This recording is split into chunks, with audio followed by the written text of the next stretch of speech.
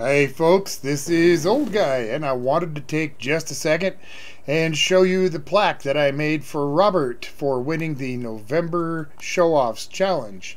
Hey y'all, I keep my word, and this is what he got.